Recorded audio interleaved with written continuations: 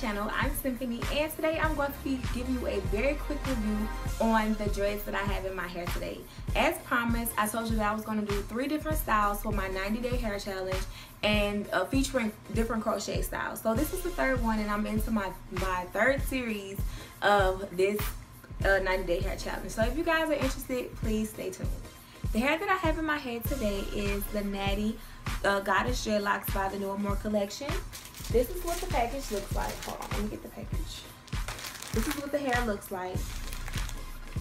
This is also the same uh, company that I, well, the same brand of hair that I used when I did my Senegalese twist when I first started my 90 day crochet hair challenge. Um, so that's one of the reasons why I decided to go with this brand. Also, um, what is the young lady's name? Her name is iMadameJay. I, I came across her video and I love the wavy texture of the of the faux lock. So that's another reason why I was prompted to get this hair. I purchased four packs and I received eight because uh, the hair was buy one get one free at samsbeauty.com. I do not know if the sale is still going on, but I will leave a link in the description box below so you can go and check that out for yourself. Um, this is what the package looks like. The hair is 16 inches long and it is 100% Kanekalon fibers. It also says that it is hot water activated.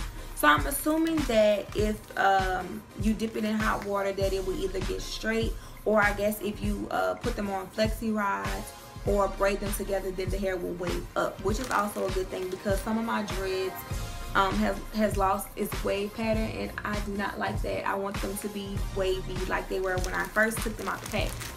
This is what the hair looked like before I installed it.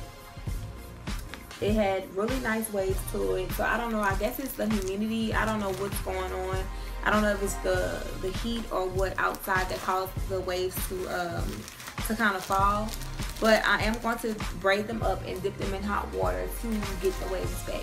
I used four and a half packs for this style and it only took me maybe about an hour and 15 minutes, an hour and 30 minutes to complete. Um, as you all know, if you have watched my previous videos, I do not braid my own hair. Uh, but my braid pattern is the same. It's like a zigzag braid pattern in the back and then I have I think 10 to 12 braids in the front going to the back and it is a connecting braid across the top. So that is uh, the braid pattern that I choose to go to because I like my dreads or my braids to, uh, to lay a certain way. I did not choose to do any hair charms with this style because I am going to a, a conference later on this week and I did want to keep some type of professionalism to my hair and I didn't want anything distracting in my hair so that's why I did not do any hair charms with this style.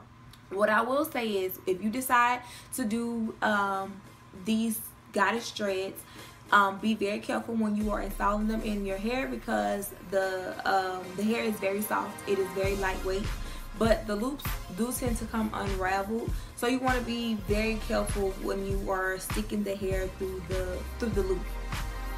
I plan on keeping this hair in my head for about a month because this is a low maintenance hairstyle and I'm hoping that it can get me through the rest of the summer or at least till school starts until I figure out what else I want to do with my hair. But if you guys enjoyed this video, please give it a thumbs up. If you have any questions, comments, or concerns, leave them in the comment section below. I will also leave all the information for this hair in the description box below. And don't forget to subscribe to my channel. I will see you all in my next video. You all have a wonderful day.